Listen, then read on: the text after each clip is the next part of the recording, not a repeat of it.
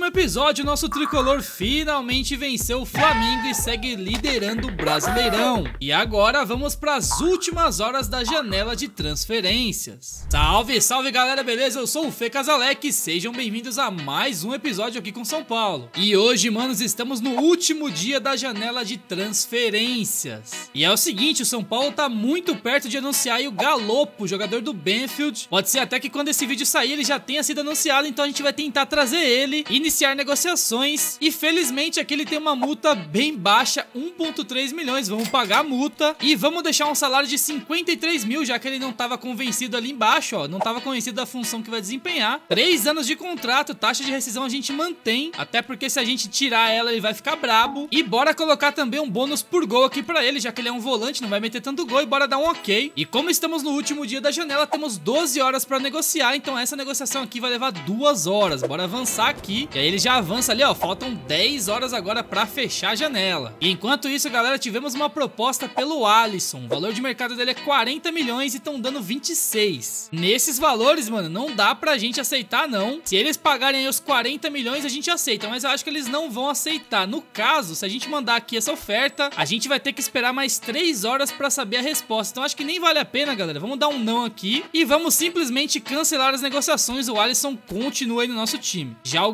Ó, saca só. Eles pediram um aumento salarial aí, o salário dele vai ser 65 mil. Ele que tá ganhando no momento ali 20 mil, né? Vai ter um aumento legal aí pra ele. Mas beleza, pra gente manter o realismo, bora aceitar aqui então o Galopo. Vamos perder aí 65 mil de salário, 1.3 milhões. Duas horas aqui da janela, bora dar um sim e pronto. Galopo vai ser o nosso novo jogador aí, assim como provavelmente será na vida real, né, no São Paulo. E prontinho, já tem até a notícia, tá aí o Galopo com a camisa tricolor. E surgiu uma proposta do Vissel Kobe pelo Jonas Toró. A gente não tá usando o Toró praticamente. Eles estão pagando 6.5, ele vale 10. Então pra gente não perder mais tempo, galera, bora aceitar isso aqui desse jeito mesmo. 6 milhões já vai ajudar a gente, vai perder também o salário dele, né? não vamos mais precisar pagar. Então bora aceitar os termos, vai levar mais duas horas. Jonas Toró será dispensado e pronto, ganhamos 38 mil de salário. Liberou e também ganhamos aí 6.5 milhões. Estamos fazendo, na minha opinião, uma bela reformulação no São Paulo, tanto no elenco como também nas finanças, que era importante. E o que eu mais temia aconteceu, galera. Chegou proposta pelo Gabriel Sara, um dos nossos melhores jogadores, fez vários gols de falta aí na série. Só que infelizmente ele realmente vai ser vendido aí na vida real pro Norwich City da Inglaterra. Aqui não foi o Norwich, sim o Young Boys. Porém, pra manter o realismo, né, mano? Nessas horas eu odeio realismo, mas fazer o quê? Vamos ter que aceitar, galera. Vamos aceitar então Gabriel Sara, mas também tem proposta pelo Igor Gomes. E esse sim foi um time inglês, foi o Bournemouth. Podia ter sido invertido, né, mano? O Bournemouth levar o Gabriel Sara ficaria mais realista. Então bora aceitar primeiro aqui o Gabriel Sara, ele vai embora. Lá se vão mais duas horas aí da janela, a gente só tá perdendo o jogador. E já era, mano. Você dispensou o Gabriel Sara, vendemos ele por 14, 14 não, 15.9 milhões e 70 mil liberou de salário. E só faltam 4 horas pra gente negociar. E agora nós temos ainda a proposta pelo Igor Gomes pra ver e também chegou proposta pelo Wellington do Penharol. Por mais que a proposta seja muito boa, galera, o valor de mercado dele é 65, estão dando 58. É o Penharol, né? Não faz nenhum sentido o Wellington sair do São Paulo pro Penharol. Então essa aqui a gente vai recusar, tá? Interromper negociações. E a do Igor Gomes é o seguinte, mano. Nesse momento o Igor Gomes virou titular. Ele é o nosso substituto aí pro Gabriel Sara. Então, perder os dois de uma única vez vai ser bem sofrido aí pra gente. E não vai ter espaço aí, não vai ter tempo hábil suficiente pra gente vender o Igor Gomes e trazer outro jogador, por exemplo. E o nosso saldo é muito positivo, tá? Somando tudo que a gente vendeu e contratou, a gente ganhou 127 milhões. Então dá pra considerar aí que a gente já bateu a meta pra ajudar aí a recuperar o São Paulo financeiramente. Então não, o Igor Gomes não vai sair, pelo menos não por enquanto, tá? Se pintar uma proposta dessa depois, né, futuramente, aí a gente pode pensar em vender. Então por enquanto, interromper negociações, não vamos vender o Igor Gomes não. E é o seguinte, acabei de mandar uma proposta aqui por um jogador em troca do Rigoni. Mandei o Rigoni pra trazer um outro jogador, já que possivelmente o Rigoni também vai sair do São Paulo. Mas de qualquer forma, eu só vou mostrar pra vocês se der certo, tá? E sim, meus amigos, rolou, tá? Deu certo. Agora já tá na tela pra vocês verem Ganso por Rigoni, tá? Troca pau a pau sem envolver transferência, sem envolver mais grana, só um pelo outro. Detalhe que o salário que eu ofereci pro Ganso é menor do que o do Rigoni, então a gente vai ganhar mais dinheiro ainda. Pô, Fê, mas o Ganso é muito diferente, é lerdo, não sei o quê. Mano, eu gosto muito do Ganso, confesso. Sou Gansete sim.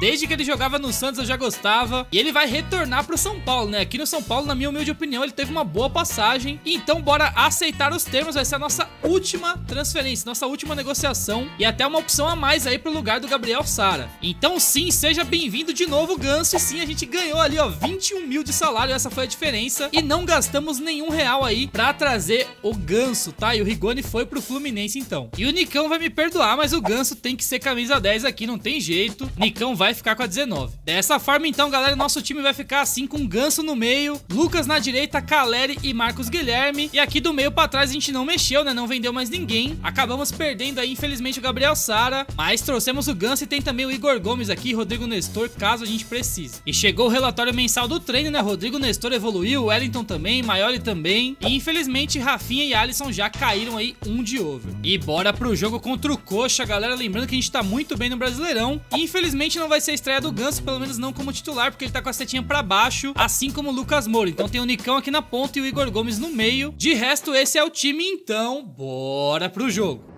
Curitiba e São Paulo no Couto Pereira. Olha só que bonitão estádio. Aí os jogadores no túnel para entrar em campo. Vamos São Paulo. Olha o Coxa chegando. Com o perigo tem que tirar daí. Tira Luan.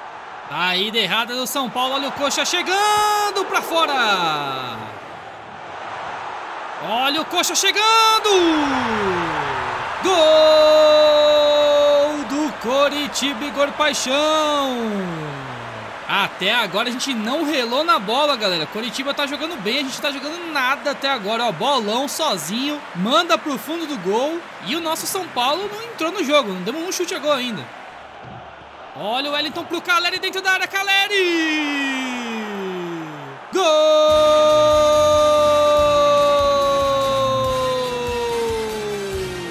Caleri é do São Paulo!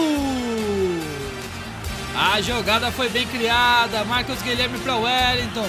O Wellington pro Caleri. O artilheiro é matador, não perdoa não. Toca no Caleri que é gol. São Paulo no primeiro chute empata. 1 um a 1 um no Couto Pereira. Olha o Caleri pro Nicão. Vai pra cima, Nicão. Tirou do primeiro, Nicão bateu pro gol. Bateu pra fora. Olha o Marcos Guilherme, roubou a bola, bateu pro gol, é gol! Gol! Marcos Guilherme! É gol do São Paulo! A tentativa ali na jogada, ó. Caleri tentou pro Marcos Guilherme, depois ele rouba a bola ligeirinho, manda no cantinho, o goleirão vacilou. São Paulo agora vira o jogo. 2 a 1 veja só por todos os ângulos. Ó. O zagueiro vacila, Marcos Guilherme não. Cantinho é gol, vira, vira, virou. Eliminou o primeiro tempo, galera. Não sei como a gente conseguiu virar esse jogo, tá? A gente deu três ataques ali, quase fez três gols. Fez dois, virou o jogo. E eu vou sim promover a estreia do Ganso. Ele tá com a setinha aqui quase tudo pra baixo. Vamos ver como é que ele vai jogar. De resto, o time tá muito bom, então bora pro segundo tempo. Sobrou no Marlon. Pode bater, o Marlon não bateu. Olha o Ganso. Pega a muralha. Lançamento do Ganso pro Caleri. Que lançamento pra fora, Caleri. Eu contratei o Ganso pra isso, ó. Ele pega a bola no meio campo, vê o Caleri passando, manda um lançamento espetacular e o Caleri quase faz o terceiro. Marlon pro Ganso. Olha o Ganso aí. Colocou pro Wellington. Cruzamento no chão pro Ganso pra fora. Bolão do Marlon pro, pro Nicão. Olha o Nicão chegando na ponta, Caleri. Olha o gol! Toca nele que é gol! Gol!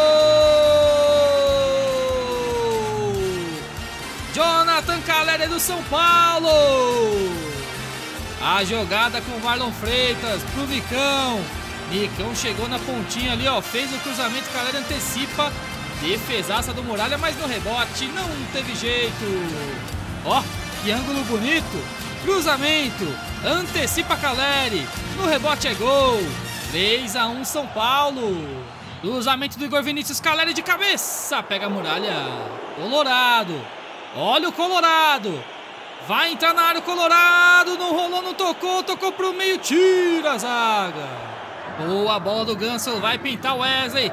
Vai fazer o cruzamento pro Caleri. Dominou Caleri. Bateu. Bateu mascado. Olha aqui, bolão pro Igor Paixão. Igor Vinícius atrás dele. Igor Paixão manda pro gol, golaço. Gol do Coritiba, mais um dele, ele sai fazendo assim ainda, mano, que moleque abusado, tá perdendo, meu querido. Mas foi realmente um belo gol, olha que bolão do Robinho. E aí o Igor Paixão, ó, adiantou, o Igor Vinícius não chegou, ele mandou um belíssimo chute, joga muita bola o Igor Paixão. Mas de nada adiantou, graças ao terceiro gol nosso, 3 a 2 Vitória muito importante fora de casa. E realmente o segundo tempo do nosso time foi muito bom, pulamos para 11 chutes ali contra 3 do Coxa. E os dois deles que foram no gol foram gol, né, mano? Complicado. E o melhor do jogo, claro, Jonathan Caleri. E a gente mantém cinco pontinhos aí de distância pro Galo, que continua aí na nossa cola. Palmeiras 42, Fluminense 41, hein? E olha só, galera, ouviu falar o novo apelido que a torcida deu pro Caleri? E o Tedesco Volante. Acho que combina com ele. Acho que não combinou nada, mas tudo bem. E vamos pra próxima partida, essa contra o Cuiabá. No Morumbi, hein? Jogando em casa, dessa vez vai ter Ganso desde titular, vai ter o Lucas também. E esse vai ser o nosso time, então bora pro jogo. E já vai chegando o Lucas. Cruzamento pro Marlon pra fora. Olha o Wellington chegando. Pro Caleri. Caleri girou pra cima do zagueiro. E perdeu a bola. Recuperou o Marlon. Vai rolar pro Caleri. Caleri pro gol. Defesaça. E lá vem Lucas pela ponta. Já tirou do primeiro. Não tirou, não. Belíssima recuperação. E o Cuiabá vem perigosamente. A bola vai pra fora.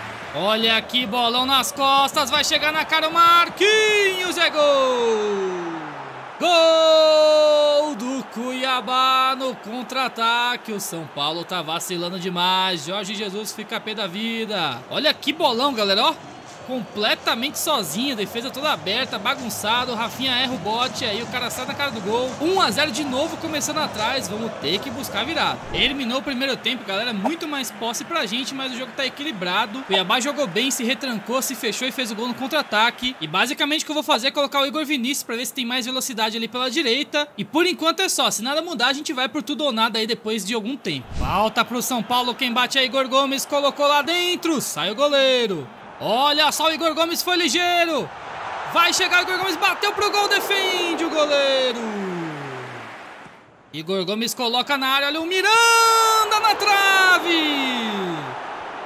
Colocou de novo na área, ninguém tirou, o Wellington bateu pro gol, desviou, é gol! Gol!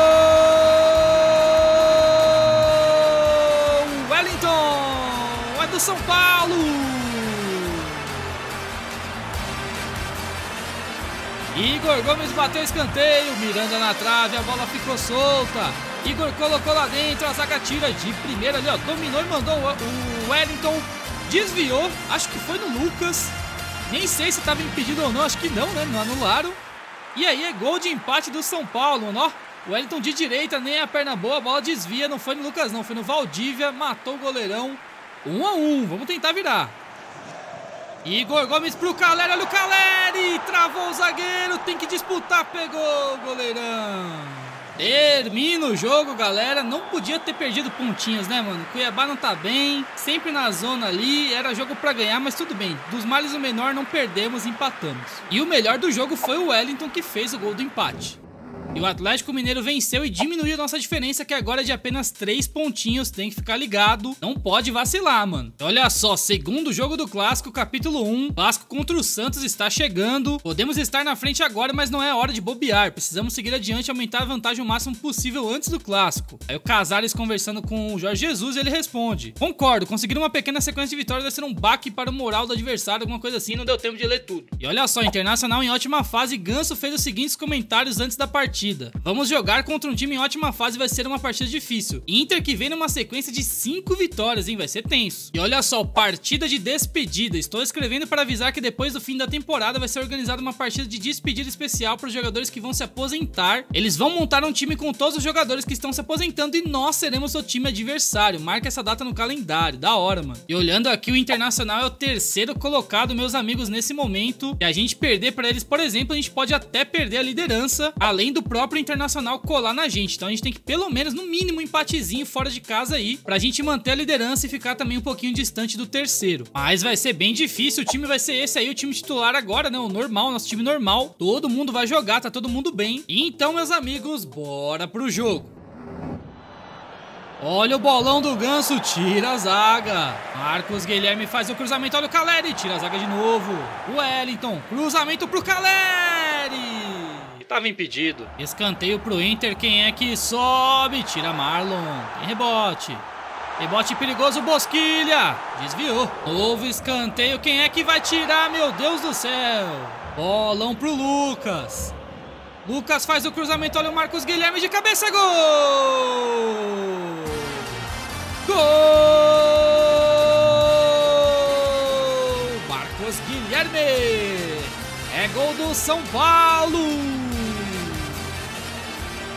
Um lançamento do Rafinha pro Lucas. Lucas cruzou, Marcos Guilherme baixinho, mas meteu a cabeça na bola muito bem, que bela cabeçada. Cruzamento do Lucas. Cabeçada, ó, vai chegando ali o Marcos Guilherme de cabeça. Meteu pra dentro, é rede. 1 a 0. E vai chegando o Inter, passou por todo mundo, Maílson no rebate é gol. Gol! Internacional, Wanderson. Aí também não dá, mano. Os caras não pegam o jogador de jeito nenhum ali, o Wesley. Ó, que isso, ó. Ó, ó o Canu vacilando ali, ó, ó. Wesley girou, mandou pro gol. Defesaça do Maílson no rebote é gol. Sempre assim, galera. Quando faz um gol, mano, a maior chance de você tomar o gol é logo em seguida. Tanto pra gente quanto pra máquina e na vida real também. Então tá 1 a 1 Eliminou, galera, o primeiro tempo totalmente do Inter aí. 4 a 1 nas finalizações. Pelo menos tá 1 a 1 no jogo. Mas a gente não consegue ficar com a bola, mano. A gente não tem posse de bola nenhuma. E eu confesso que eu nem sei o que fazer nesse jogo, galera. Não sei se a gente muda a formação ou não. Acho que eu vou voltar pro segundo tempo assim. E aí, se continuar ruim, a gente muda.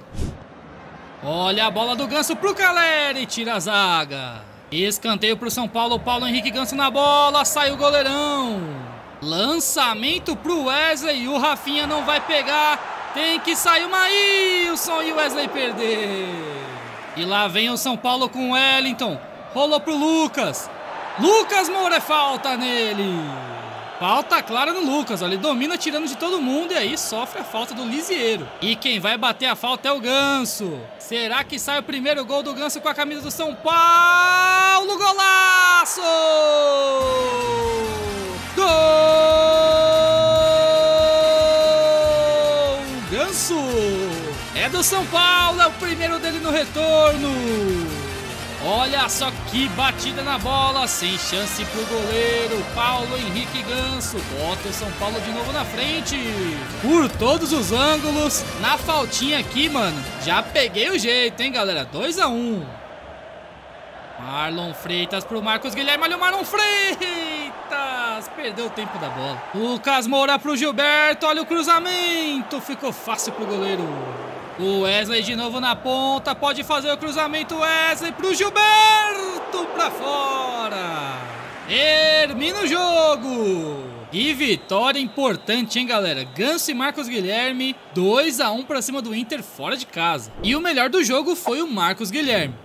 E olha só que beleza, galera. Demos muita sorte. O Galo perdeu e foi pro Cuiabá, tá? Agora a gente abriu 6 pontos de vantagem, né? Tava 5, depois ficou 3, agora 6 pontos. O Internacional que perdeu já caiu pra quarto. E o Atlético Paranaense, quem sobe ali, aparece em terceiro. E só pra mostrar pra vocês o Z4, né? A zona do rebaixamento: Havaí, Goianiense, Juventude e o Cuiabá. E olha só a notícia: Ganso supera expectativas. Desde sua chegada ao São Paulo, já podemos dizer que Ganso fez valer seu preço com uma sequência de belos desempenhos desempenhos, boas atuações estão entre os assuntos mais comentados nas redes sociais. E tivemos convocações aqui de seleções, nenhum jogador nosso foi convocado. Ainda teremos aí, ó, a sequência do São Paulo. Na rodada 27, pegar o Havaí em casa, depois pega o Santos na Vila, Palmeiras no Morumbi. E aí depois tem Bragantino, Goianiense e o Corinthians em Itaquera. Vai ser bem complicado essa sequência, hein? E aconteceu aí os jogos de ida da Libertadores, galera, das quartas de final. O Atlético Mineiro empatou com o Laguaira, Bragantino também empatou com o Palmeiras e o Flamengo Flamengo ganhou de 1 a 0 do Corinthians. Quem será que vai passar para semis, hein? E como o Gabriel Sara saiu do time, a gente perdeu aqui o treino de habilidade que ele estava fazendo, né? Então vamos botar um aqui no ganso, ó, cruzamento preciso, permite que jogadores façam cruzamento em curva com grande precisão. Bora botar o ganso então, que é o único jogador aí que pode. E prontinho 60 dias para ele aprender aí, para ele melhorar.